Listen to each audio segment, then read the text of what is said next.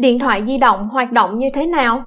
Đối với hầu hết mọi người, điện thoại di động đã là một phần cuộc sống của họ. Hôm nay, chúng ta sẽ tìm hiểu làm thế nào mà điện thoại có thể thực hiện được một cuộc gọi và sự khác biệt giữa các thế hệ công nghệ truyền thông di động. Khi bạn nói chuyện trên điện thoại, giọng nói của bạn sẽ được thu bởi microphone của điện thoại. Microphone có nhiệm vụ chuyển đổi giọng nói thành tín hiệu kỹ thuật số với sự trợ giúp của cảm biến MEMS và IC. Tín hiệu kỹ thuật số chứa giọng nói của bạn dưới dạng bộ sưu tập gồm số 0 và số 1. Một cái anten bên trong điện thoại sẽ nhận các số 0 và số 1 này và truyền chúng đi dưới dạng sóng điện từ. Sóng điện từ truyền các số 0 và số 1 bằng cách thay đổi đặc tính của sóng điện từ như điều chế tần số, điều chế biên độ hoặc kết hợp cả hai cách này. Ví dụ, dữ liệu là số 0 sẽ được phát đi với tần số thấp, còn dữ liệu là số 1 sẽ được phát đi với tần số cao. Vì vậy, nếu bạn biết cách truyền sóng điện từ này đến điện thoại của bạn bè thì bạn đã có thể thực hiện được cuộc gọi.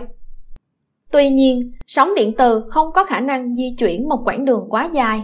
Tín hiệu của sóng điện từ sẽ bị yếu đi trong quá trình di chuyển và do cản trở của các vật thể thiết bị điện và các yếu tố của môi trường. Để khắc phục được vấn đề này, các tháp viễn thông đã được đưa vào sử dụng. Trong công nghệ di động, một khu vực địa lý sẽ được chia thành các ô hình lục giác. Mỗi ô lục giác sẽ có một tháp viễn thông và một tần số riêng. Các tháp viễn thông này sẽ được kết nối với nhau bằng dây cáp, cụ thể là cáp quang học.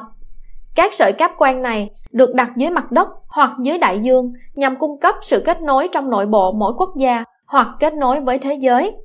Sóng điện từ được phát ra từ điện thoại của bạn sẽ được thu bởi tháp viễn thông gần nhất với bạn. Tháp viễn thông sẽ chuyển đổi tín hiệu sóng điện từ thành xung ánh sáng tần số cao. Các xung ánh sáng này sẽ được đưa tới hộp thu phát, được đặt ở chân của tháp để xử lý tín hiệu.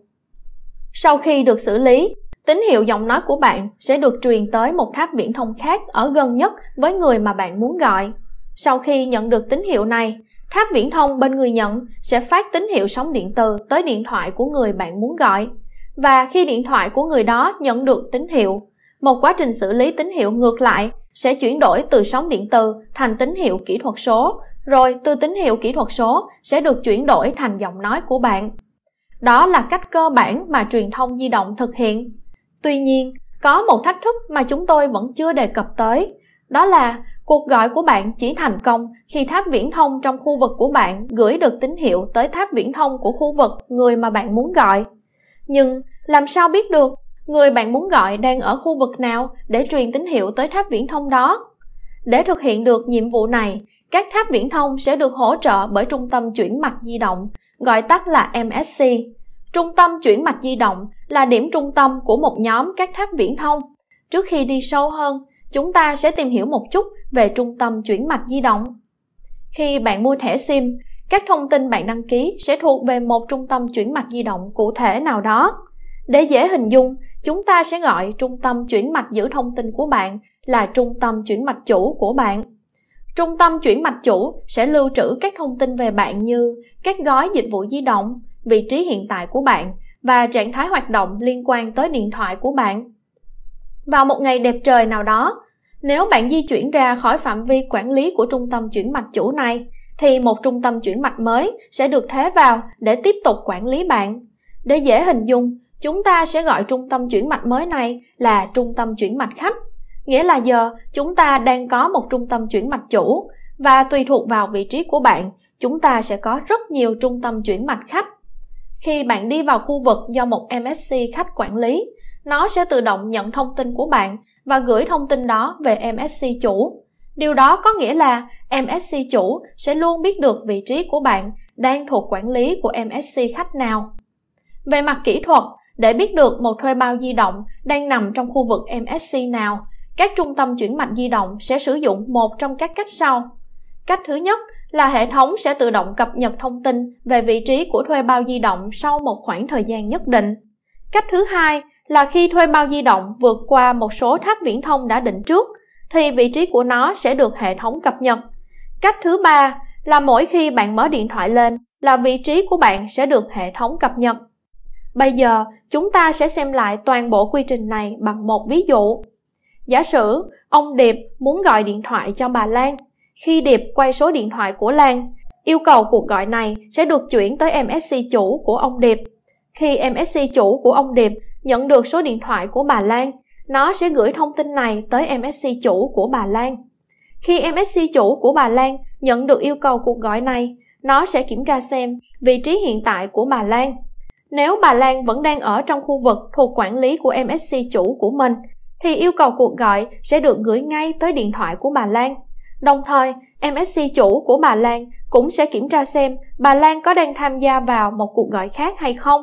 Nếu mọi việc được suôn sẻ, thì điện thoại của bà Lan sẽ đổ chuông và cuộc gọi giữa ông Điệp và bà Lan sẽ được kết nối.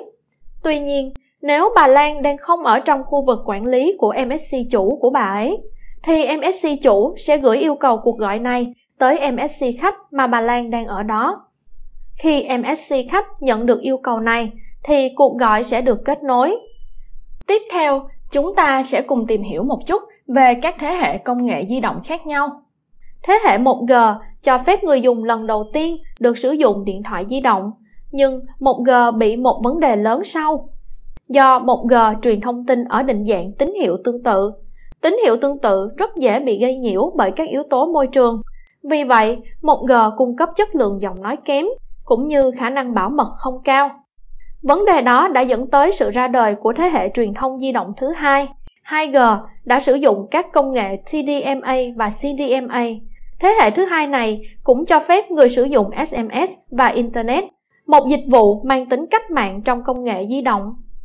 Tiếp đến là công nghệ 3G. Thế hệ thứ ba này tập trung vào việc cải thiện tốc độ truyền dữ liệu. 3G sử dụng kỹ thuật đa truy cập WCD đồng thời cũng tăng băng thông để đạt được tốc độ truyền dữ liệu 2 megabit trên giây. Với tốc độ này, các ứng dụng hữu ích như GPS, video, voice chat đã có thể sử dụng. 3G là một bước tiến lớn trong việc chuyển đổi điện thoại cơ bản sang điện thoại thông minh. Tiếp theo là thế hệ thứ tư. 4G có tốc độ truyền dữ liệu đạt được từ 20 đến 100 megabit trên giây. Tốc độ này rất phù hợp với truyền hình có độ phân giải cao như Full HD và 4K. 4G đạt được tốc độ cao hơn này là nhờ công nghệ đa truy cập OFD và công nghệ MIMO. Công nghệ MIMO sử dụng nhiều anten thu phát bên trong điện thoại di động và tháp viễn thông. Thế hệ truyền thông di động 5G sẽ sớm được triển khai sẽ sử dụng công nghệ MIMO đã được cải tiến và sóng mm. 5G được cho là sẽ cung cấp sự kết nối liên lạc hơn để hỗ trợ Internet vạn vật, gọi tắt là IoT, nhằm kết nối những thứ như xe không người lái, nhà thông minh, vân vân.